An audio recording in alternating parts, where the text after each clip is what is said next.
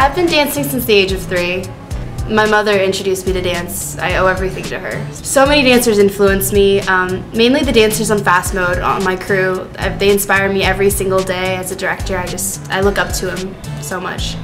Fasmode is a competitive hip hop dance crew. Um, we compete at World of Dance and all these huge competitions, but we're mainly based on family. So not only do we dance, we really influence the whole family aspect of everything.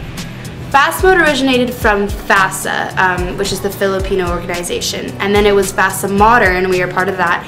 And then over time we branched out and it became Fasmode. Um, we're a completely different crew now and we're chartered, so we worked really hard to be um, independent and we worked really hard to just be the crew that we are today.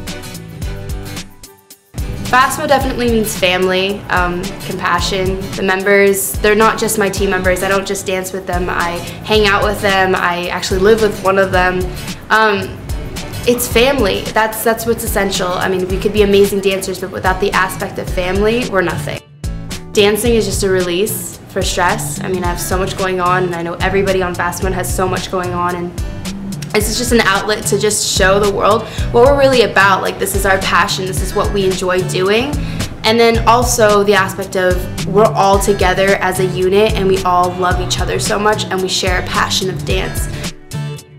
I'm in charge of um, fundraisers, I'm in charge of all the events going on, um, I'm in charge of team hangouts, uh, pretty much anything that involves getting together with the crew, that's me, um, workshops. Another thing that I'm in charge of is performance. So um, not only when we go to performances or competitions, I'm the go-to girl. Uh, they ask, who's the person in charge? It's me. Um, I do all that paperwork and then on top of that, I also have to do NES, which is Night of Expression Showcase. It's our charity event that's coming up actually on April 28th for Stop Human Trafficking.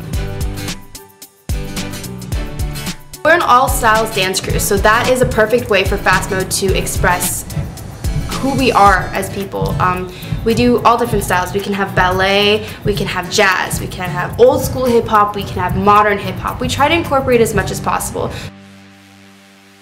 Find out about us in so many different ways. Um, you can go to the SRC and you can ask about sports clubs. And then another way is you can go to our Facebook, and that's Fasmode um, on Facebook.com, just Fasmode Dance Crew. Look us up there. We have a Tumblr. Um, word of mouth is awesome too.